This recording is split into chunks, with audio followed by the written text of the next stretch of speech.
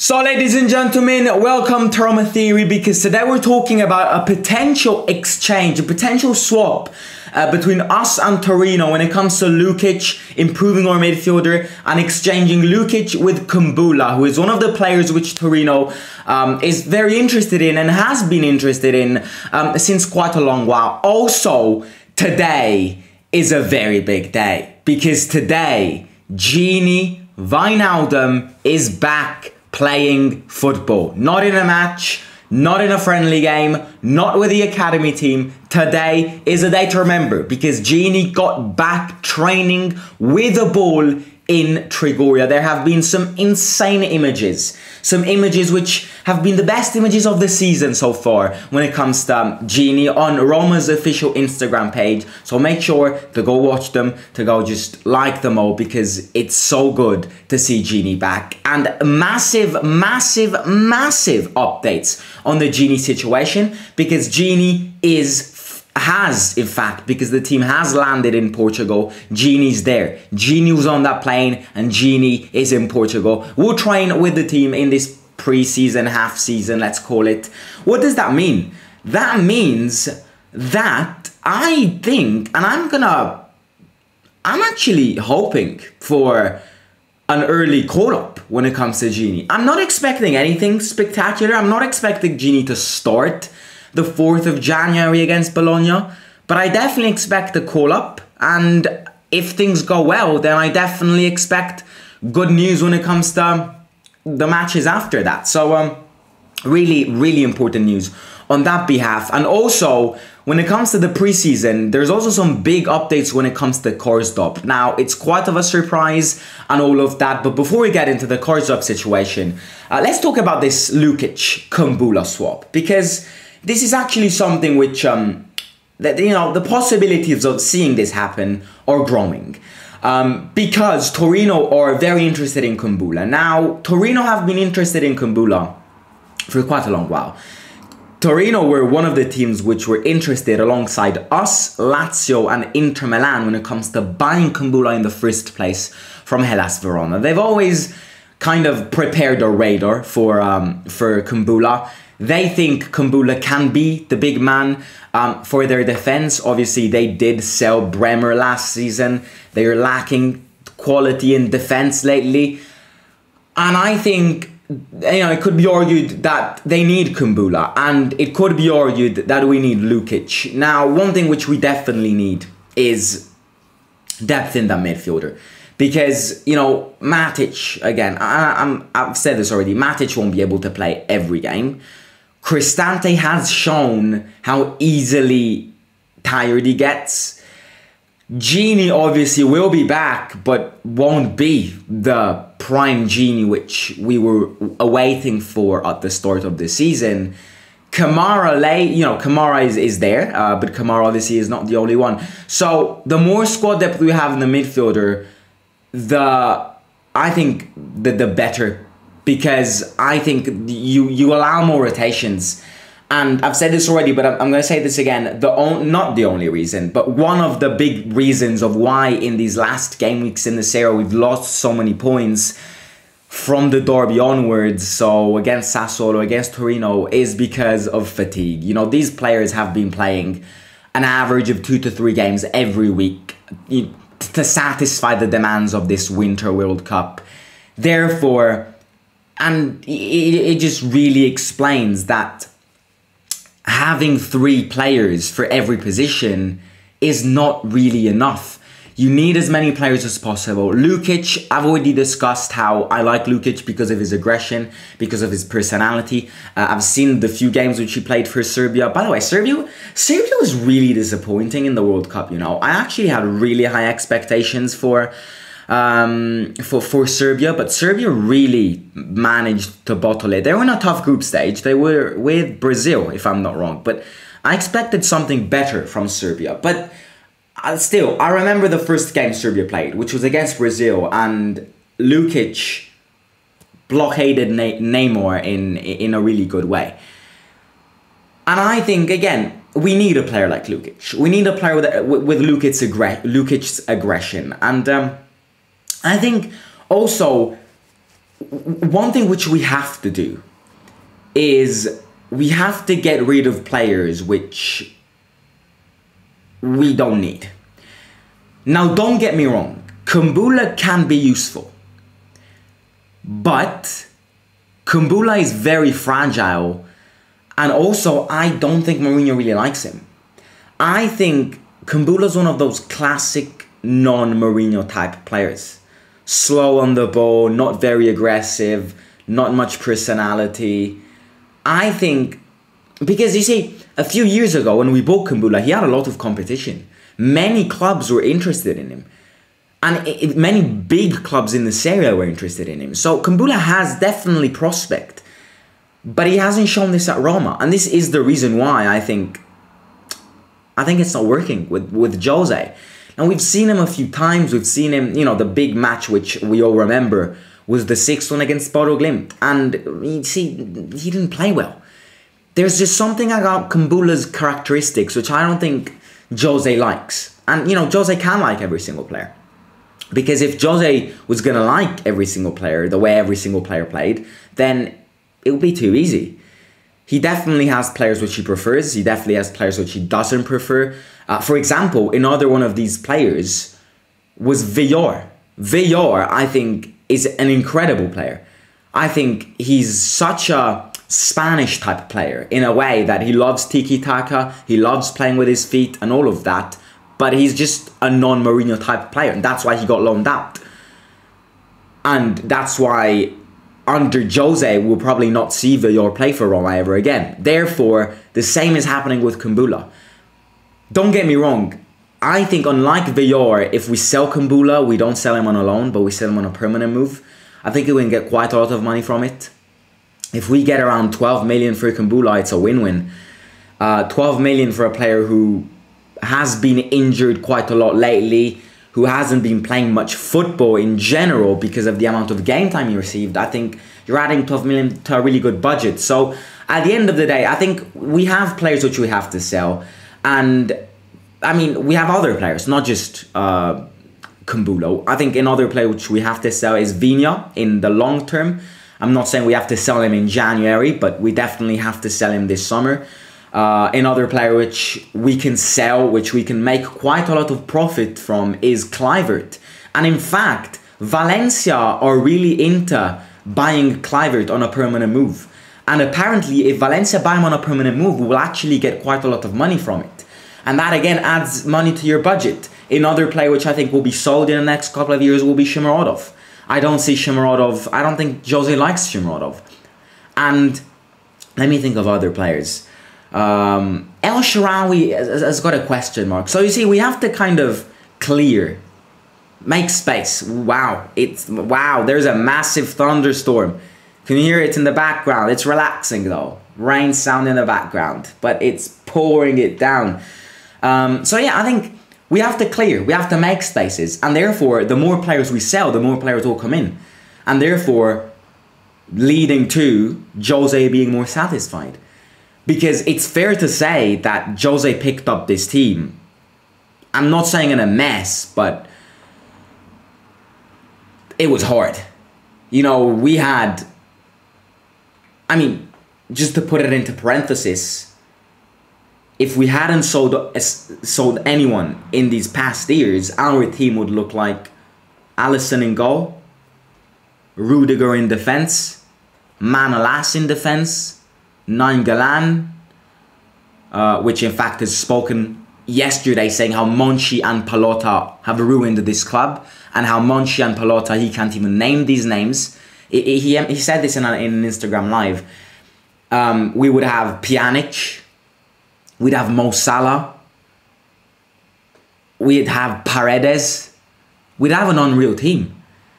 If you have an ownership which has these players, sells them all, and then you bring in a manager who in his team has tough players to work with, you, you need time to rebuild and there are still players which I don't think which I think Jose wants away. So um, so that's definitely that's definitely something to consider. But I think you know the chances are increasing to see this swap happen.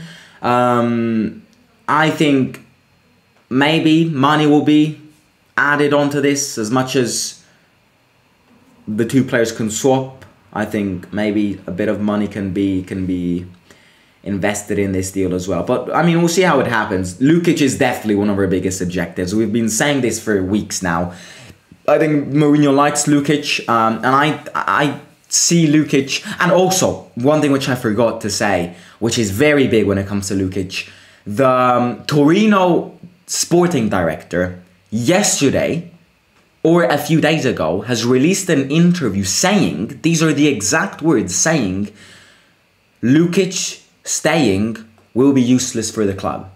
Lukic is gonna leave. He broke up with the uh, ownership. Something happened between him and Torino. So it's definitely making things easier. It's facilitating things. But again, we'll see how hap- we'll see what happens. Um, which um, which uh, will be definitely something to mention because um, I think I think he can be a good addition to the midfield, especially adding on adding on to the players we already have which is important because we don't lack midfielders. We lack creative midfielders, but in general, we don't really lack midfielders. We've we've got midfielders. Obviously, I'm not saying they're amazing. Um, we can always improve, but you know we have we have we have the players. But the more you add, the better it will be. So yeah, this is definitely the um, the transfer update of today. Now I want to quickly speak about who left for Portugal, who didn't leave for Portugal, uh, because there have been quite a few surprises. Ow, ow, bloody hell. I just, ah, I just kicked, ah. I swear these live streams are crime scenes. I swear I get injured every time I go live. I just kicked the table with my foot. That's, ow. That's a stinker. Right. that hurts. Anyways, who left? Who stayed in Rome? It's very simple. We had doubts of who was going to leave, who was going to stay. The big three doubts were on three on, on just three players. Wijnaldum, Belotti, and Karsdorp. Wijnaldum has passed the test. Medicals, doctors has they have basically allowed him to go. Um, his recovery is going really well, really really well. Now at the end, I mean, realistically speaking, will we see Van Wijnaldum even get subbed in for two minutes in these three friendly games coming ahead? No, and it would be a really big mistake to do so. What Van Wijnaldum has to do now is is not think about playing games. It, it is train with the team because he hasn't been training with the team much. And we know how players need to work together for them to perform in better ways. So Wijnaldum is in Portugal. The team has uh, landed a few a few hours ago, if I'm not wrong. Uh, tomorrow is our first friendly game. So yeah, Wijnaldum is there. Second, that was Belotti. Yesterday, everyone was saying Belotti's not going to leave because he, he had an injury in these last training sessions, Belotti also left. So it means that there have been updates when it comes to his injury. He's probably not going to play any of these games, but still, it's good for him to leave. If he if he feels like he can leave with the team, then it's good that he's doing so. So yeah, Belotti has left, which is good. It's another good thing because no one was expecting this. And then the last weird thing where we should focus on more is Karsdorp. Yes, our good old friend Karsdorp. It's been a while, but uh, we're really at that stage where you're like, what the hell is going on with Karsdorp? What the hell is going on with this situation? It's so unpredictable. One day we read how Jose really doesn't want to work with him anymore. One day we read how he doesn't want to leave for Portugal. Today we read the revolution. Karsdorp has left for Portugal. What are we supposed to believe? Like, and I don't know if it's how the media works. I don't know if there's something which we don't know which happened between Mourinho and Karsdorp. I struggle to believe that with a manager like Mourinho, with a player who didn't want to leave for Portugal, I struggle to believe how he has ended up on that plane. But what I what what what, what I think needs to be suggested is that there has been a secret meeting between Mourinho and Karsdorp. You, you can't explain it otherwise. You genuinely can't explain what's happening otherwise. Because, I don't know, he, he's basically said he doesn't want to leave for Portugal. The manager said he doesn't want to work with him anymore, and he's on the plane flying to Portugal. And yesterday, he was on an Instagram picture with the winning team of the training session. I mean, what are we supposed to believe here? It's just so hard to predict. I mean, it's so easy to go from one side to the other, but unfortunately, this situation is exactly this. I mean, a few days ago, I was saying how there was no chance of seeing Karsdorp being reintegrated in the team. Well, today, ladies and gentlemen, I'm actually saying, I'm actually saying to you that I think it is very possible that Karsdorp is gonna get reintegrated in the team because otherwise, I can't explain this situation. I mean, I'm not joking. I'm, you see, it, it, it makes me laugh because you kind of look at this and you're like, why the hell did it happen? But then you can't explain it. So I think now Mourinho is considering Karsdorp staying until the end of the season. What, what I really will struggle even more to believe is that if he stays at the end of the season and then he doesn't get sold in the summer. If he doesn't get sold in the summer, then it means I don't know. He surprised Mourinho with a new car because I just don't know where this that which direction this situation is picking up. So I mean, it's a situation which can change anytime soon according to this plot, which has literally been like a sequel of Escape from Alcatraz, I wouldn't be surprised if once landed in Portugal, Karsdorp picks up a plane, a private jet, and flies away. But because you see, we can't predict what happens. So, as things stand, Karsdorp is in Portugal, and Karsdorp is making Mourinho rethink about his position. Karsdorp is making Mourinho rethink about him blasting him out. And maybe it could also be said that Karsdorp is trying to surprise Mourinho and maybe make him look better. So I, I don't know, but I mean, how this situation will evolve, I'll update you guys with. But I mean, there is definitely something which has happened. I, I just there there has been a secret meeting which luckily the media isn't aware about because one of the mistakes that the club has made is making this situation public. Yes, okay, blasting a player pu- pu- publicly is something, but then carrying the entire situation publicly is is is wrong. So if there has been a secret meeting which the media isn't aware, then good, fair play, because this as much as this situation drags on, it's so, it, it's very important for this situation to not drag on when it comes to media wise. So again, I mean, there has to be, there has, there must have been a meeting between Mourinho and Karsdorp, arguing and kind of making him rethink about everything. Because I, I mean, he can't explain it otherwise. But again, if Karsdorp will then decide to re-escape from Mourinho, I'll be here to update you. But as things stand, Karsdorp is in Portugal, which makes you believe that he's probably going to get reintegrated in the team as things stand. But yeah, ladies and gentlemen, quick update today, transfer news. Uh, and obviously, we're getting closer to the to this Portugal tour, which is starting tomorrow. First friendly game tomorrow against Cadiz.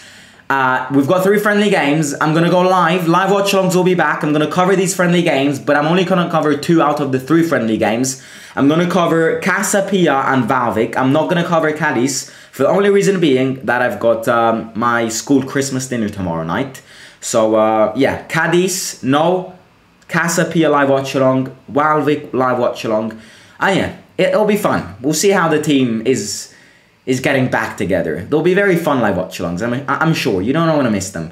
But yeah, if you haven't already, please make sure to smash the like button, subscribe to the channel, uh, and uh, obviously share the link of this channel with your families and friends, and let me know in the comments more than just the Lukic situation, what you think has happened between Karsdorp and Mourinho to change plans so quickly. Also, uh, if you haven't, I, I mean, if you haven't, if you aren't aware of it, you can see it in the live chat box over there.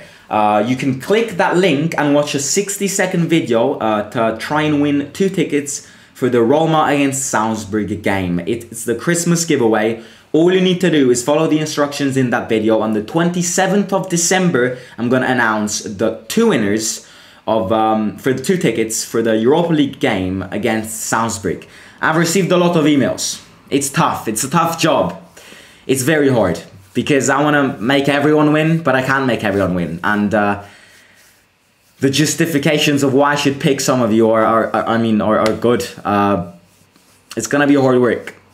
I have some ideas, but deadline isn't here yet. So you could win it as well if you're watching. In fact, I'll play the video right now. And uh, yeah, I will catch you tomorrow. Simon out. Ladies and gentlemen, happy Christmas and welcome to Roma Theory. As a Christmas giveaway 2022, I wanted to gift away two tickets for the Roma against Salzburg game in the second round of the Europa League. These are the dates. In order for you to win these two tickets, all you need to do is be subscribed to the Roma Theory channel, be subscribed to my second channel, link is in description. I've got some big plans ahead in the future for that channel. Smash the like button in this video and tell two friends to subscribe to the Roma Theory channel. Only when you've completed these four things, send me an email over at info.thesimonshow at gmail.com telling me your names, and why I should pick you to go and see the match in February. Now, I need two names. Your name and the person you want to bring. So get your girlfriends, get your children, get your parents, anyone who you'd like to bring. I've got two tickets, you and someone else. Send me the names over at info.thesimonshow at gmail.com and the 27th of December, the winner will be announced. Good luck!